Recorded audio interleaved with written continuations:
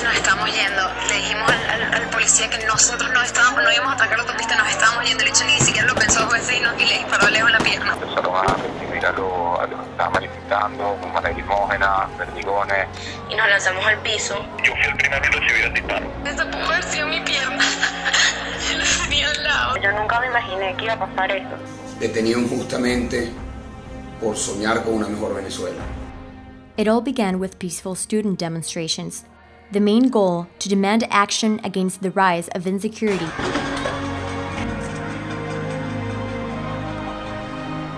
and economic crisis in their country. On February 12, thousands of students marched in the most populated cities of Venezuela. In commemoration of the Battle of the Youth, they walked with hope and unity. The movement counted with the blessing of opposition leader Leopoldo Lopez, who asked Venezuelans to join the students as a symbol of resistance.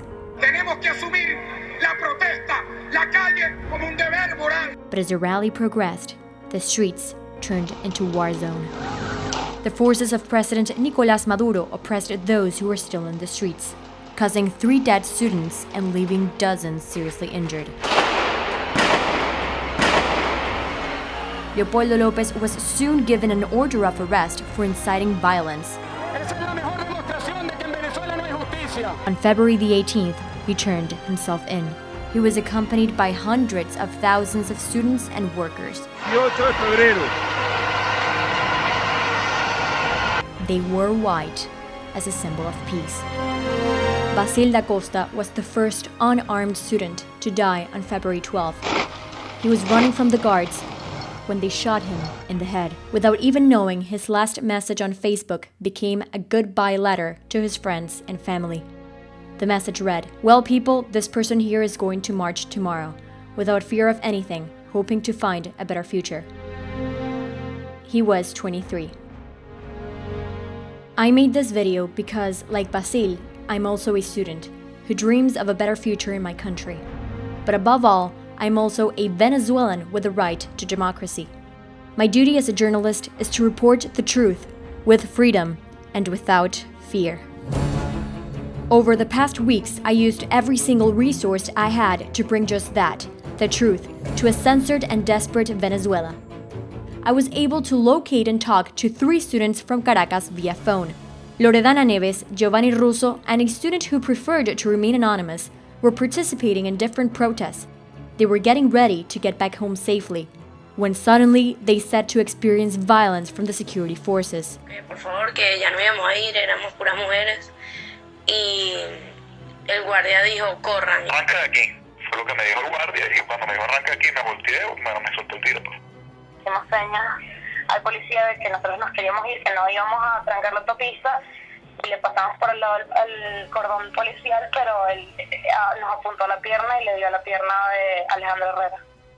After I heard the stories, I had to ask myself, how is this legal? According to the article number 68 of the Venezuelan General Police Council, people have the right to protest freely on their streets. Article number 55 says that the state law enforcement groups will respect the human rights of all people. And in case of public unrest, repression with gas bombs and pellet bullets should only be used when all negotiation sources have been tried and exhausted. So I asked student Giovanni Russo the conditions when he was shot by the National Guard. Una vez que te alcanzaron, los dejaron libres y les empezaron a disparar sin ninguna razón. Es correcto. And then I asked the same question to Loredana Neves. She was leaving the protest in a motorcycle with his friend Alejandro Herrera when a member of police shot Alejandro in the leg. ¿Cuál fue la reacción de la Guardia Nacional cuando le explicaron a ustedes que uno de ellos fue el, el que le disparó? quería ni siquiera mirar la cara. Yo le dije, nos estamos yendo. O sea, ¿cómo es posible que ustedes sean capaces? Yo le hice señas de que nos estábamos yendo.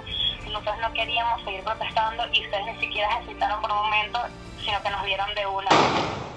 According to the two students' testimony, law enforcement officers never attempted to negotiate as this rule required. The third student had a similar experience. She said the National Guard received help from paramilitary pro government groups called colectivos.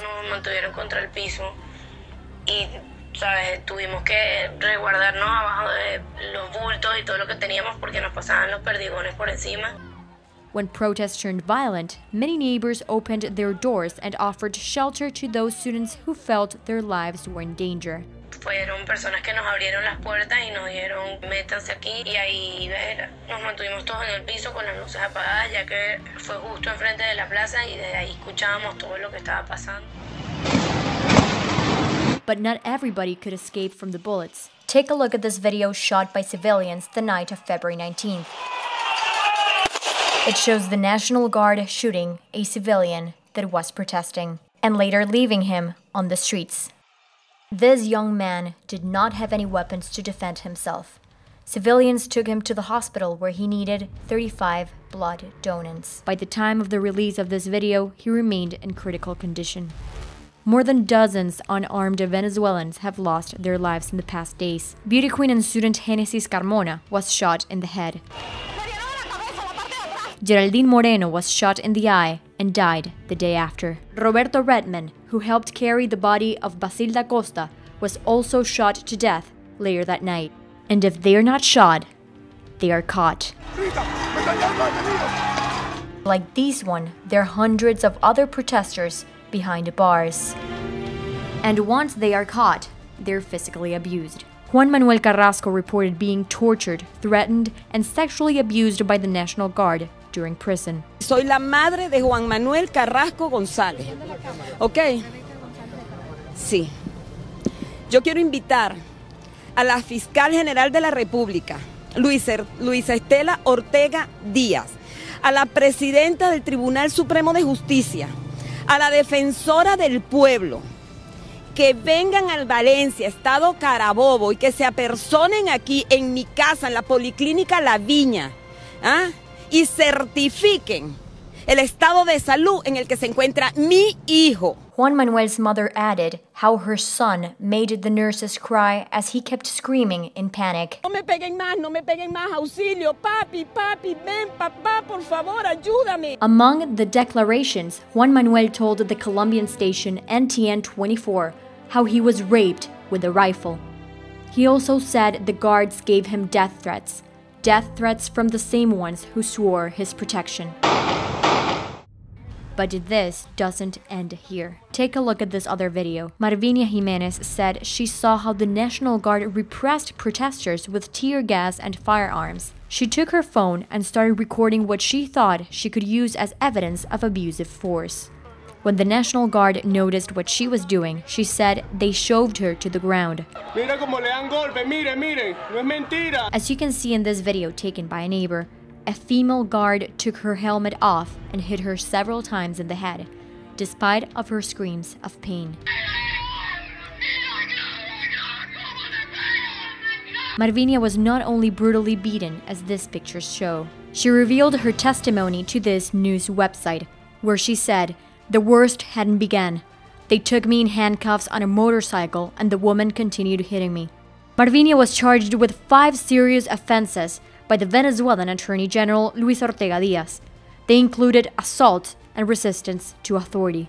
This other video captures the moment when National Guard trespassed the private property of the civilians shooting this video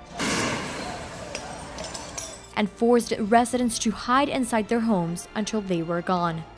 So the question arises who reports these events? And who punishes those who are shown violating the human rights of the people?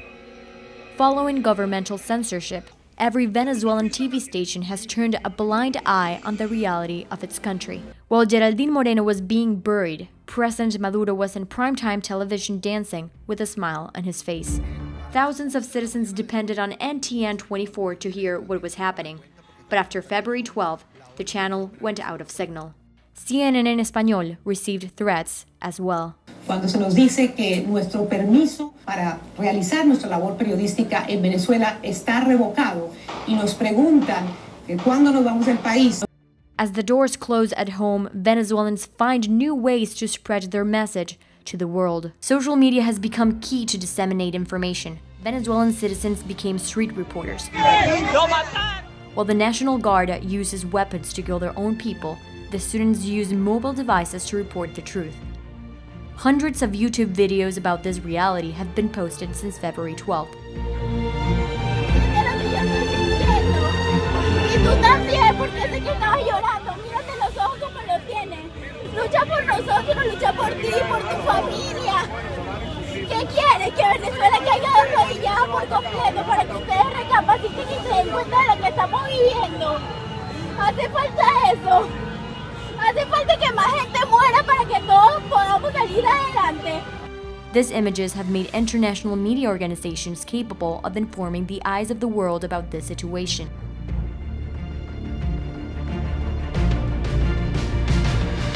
But even inside Venezuela, as citizens leave their homes and follow their right to protest on streets, they find it impossible to get online and communicate. At multiple occasions, many have reported to feel blinded and silenced, which makes their journey even harder. Sirve muy lento el celular. Muchas veces tengo que reenviar los emails o para que se cargue un tweet o alguna foto de Instagram se tarda muchísimo tiempo.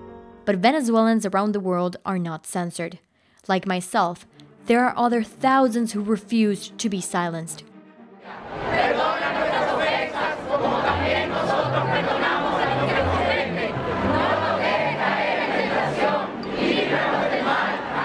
We have united for the same cause, bombarding the world with information about the human right violations in Venezuela. They seek for international support.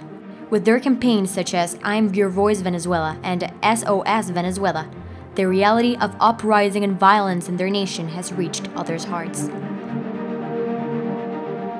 Puerto Rico y todo el pueblo latinoamericano estamos con Venezuela. Soy de Colombia y estoy apoyando a Venezuela porque quiero ser la voz de ellos. Soy español, pero tengo un gran uh, afecto por Venezuela y por todos los países latinoamericanos y, me, y, y considero que son nuestros hermanos. With ongoing rallies around the world, they demand their voice to be heard. Yo no sé qué está esperando el mundo, la, la, la ONU, que yo no sé qué, para, qué, para qué les paguen esos sueldos a esa gente en la ONU, ni, ni la OEA, ni ninguna de esas organizaciones que no sirven para nada. Hablemos claro, no sirven para nada. La gente se está matando en Venezuela y no hacen absolutamente nada. To the citizens of the world, we ask that you continue to follow the situation in Venezuela through the media and social networks, and that you share the images and videos that evidence the strong repression of the Venezuelan regime. Esas son las fotos que el mundo tiene que ver porque se tienen que enterar de la violencia que existe hoy en día en Venezuela. A college student in Florida had the initiative of communicating people a full and simple understanding of the country's situation. It is the duty of all Venezuelans living here to stand up when our homeland is being shut down. It has more than 2 million views. She used videos and photos pulled out from Instagram, Facebook, and Twitter, a proof that internet and social media has become a tie to Venezuelans around the world. I'm a Venezuelan living in Barcelona, and I complain because I love my country and I want a better future for Venezuela. We have enough. We had enough debts, enough insecurity, enough injustice. It's why I fight. That is why we fight. I believe in a better future where I can go back to my country and not be afraid. It's important that no matter where you are, you go out to the streets to report to the world what's happening to our country. Desde aquí, en Alberta, Canadá, pido que apoyemos a todos los venezolanos que andan en las calles manifestando por un mejor futuro en el país. Si somos hermanos en las buenas, también tenemos que hacerlo en las malas. To create awareness of Venezuela's current situation, a group of friends and I have been talking to the classrooms of our university, spreading the word of what's happening in our country. Wherever I go, I tell people what's happening. Nosotros somos la única esperanza en nuestro país, pues por medio de nosotros es que ellos se están enterando de todo lo que está ocurriendo. Twitter and Instagram and Vine, sending pictures, or sending videos, or sending uh, voice notes of what's going on, and you can see through these through these means what's really happening. Reprimen y hieren a estudiantes y obviamente el país ha despertado y ha dicho basta.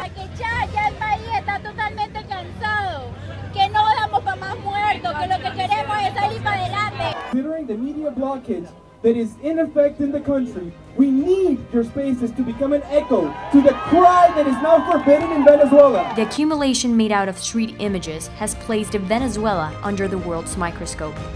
A breaking news tonight out of Venezuela. Where... Nuevos hechos de violencia en Venezuela. Estos videos han sido revisados y confirmados. Nicolás Maduro anunció en cadena de televisión que legitimate grievances of the Venezuelan people. Fuerzas políticas en Venezuela.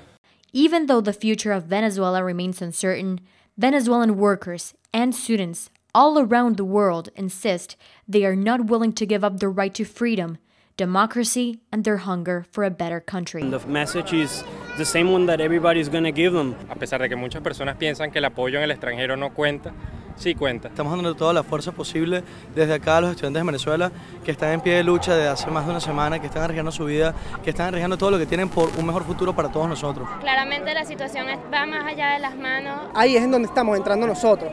Nosotros estamos entrando para decirles, no, tú puedes, puedes seguir. En cuanto te rindas, ya la lucha se habrá acabado, habrás perdido. And if you continue, continue, continue doing this, you're gonna get somewhere. Y no se trata de política, no se trata de a quién ponemos en el poder o quién sale del poder. Porque Venezuela simple y llanamente es el país en donde yo nací. Que nos hizo crecer, el país donde aprendimos, lloramos, vivimos, estudiamos. Mi cabeza ahorita está en Venezuela en cuanto a la situación, en la crisis. Vivo pegada a un celular viendo, leyendo todo lo que está pasando, informándole a la gente que está allá que no tiene cómo comunicarse y que yo a veces me entero primero que ellos de lo que está pasando. Es horrible, es una, es una sensación indescriptible. Pero que estemos lejos no significa que estamos ausentes y estoy aquí demostrando que aunque no estemos en físico, estamos de corazón y estamos en espíritu y estamos con todos los estudiantes y toda nuestra familia. Estamos preparándonos para luego volver a ir al país y sacarlo adelante para volverla a ser ese país potente, ese país importante que debe ser. Protestamos por un cambio que perdure en Venezuela. Se trata realmente de tener un mejor bienestar para todos, tener seguridad. Quiero regresarme a mi casa y quiero estar junto otra vez con mi familia y que estemos todos en paz y felices como, como recuerdo mi infancia. No acostarte todos los días pensando si el día de mañana te van a hacer algo. La gente en Venezuela se está muriendo de hambre, no hay medicinas y la están cayendo a plomo. Hay que tener siempre claro cuál es nuestra lucha. Estamos luchando contra escasez. La canasta básica es tres veces el sueldo mínimo de Venezuela. Estamos luchando contra inseguridad. El año pasado más de 24 mil venezolanos murieron a manos de Lampa, murieron por violencia. Estamos luchando contra la censura. Los medios, las televisiones, las radios no están mostrando la verdad en Venezuela. We urge the heads of states of all democratic nations and parliaments of the world that have not already done so to pronounce yourselves against the eight deaths, the more than 300 detained, the political prisoners, and the censorship of the media. We want to know that whether you are on the side of democracy and human rights or not. President John F. Kennedy once said, the hottest places in hell are reserved for those who, in times of great moral crisis, maintain their neutrality. It's not a time to be neutral. It's a time to stand up for what is right. It's a time to fight for human rights and to fight to fight for freedom and democracy. Sigamos esta lucha, pero siempre con paz, siempre sujetos a la Constitución, siempre respetando los derechos del otro. Porque si queremos tolerancia, tenemos que mostrar tolerancia. Y si queremos una mejor Venezuela, tenemos que mostrarlo nosotros también. So now the question remains is it the people who should fear the government?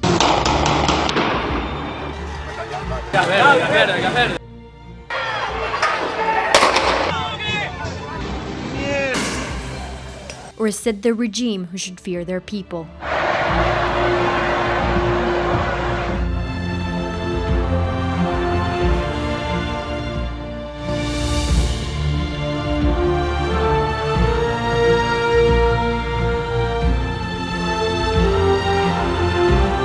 These students have one thing clear. He who tires loses.